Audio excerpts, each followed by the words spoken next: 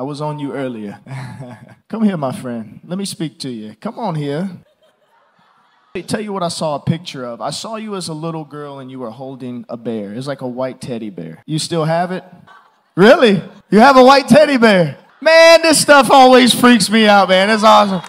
Hey, you have a white teddy bear. But, oh, listen.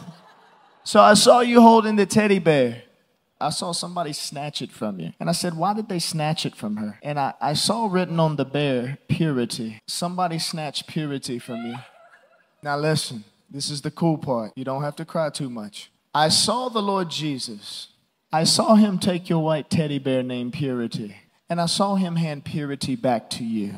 Every time you see that teddy bear, you remember that he restored what was stolen in your childhood. Lord, thank you for clearing the path. Thank you for making all things new.